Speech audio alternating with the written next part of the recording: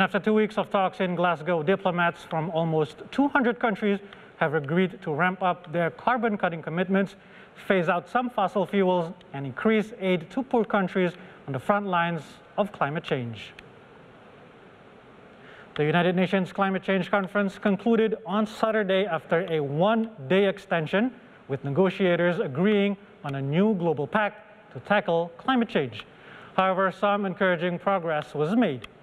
Now, the negotiators agreed to phase down coal, the dominant source of carbon dioxide emissions in the process of electricity generations. It is the first explicit mention of fossil fuels in a COP agreement. Now, an agreement was also finally reached on Article 6 of the Paris Agreement, which relates to carbon market mechanisms, paving the way for the effective implementation of the Paris deal to cut emission through market-based approaches.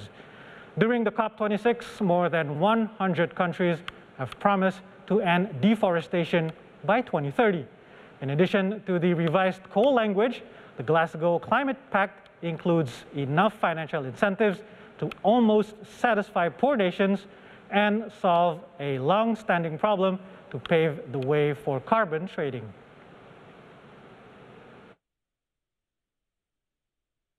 Also closed off all the outstanding elements of the Paris rulebook, the Paris Agreement. After six years, it had not been completed. We did that here. That is historic. And we also ensured that there was more money coming to support uh, developing nations. Uh, and therefore, I think what we've achieved here is something really quite remarkable. Now, on the issue of, of coal, uh, I should point out, Trevor, that for the very first time in any of these conferences, the word coal is actually reflected in the text. That again is a first. Uh, yes, of course, I would have liked to ensure that we maintained the phase out rather than uh, changing the wording to phase down. But you know, on the way to phasing out, you've got to phase down. But ultimately, of course, what we need to ensure is that uh, uh, we continue to work on this uh, on this deal, on the commitments, and on the on the issue of coal. China and India, of course, are going to have to justify to some of the most climate vulnerable countries what happened. You heard that disappointment on the floor. So what I would say to you that you know overall this is a historic agreement. We can be really really proud of it. But of course, this is just the start. We now need to deliver on the commitment.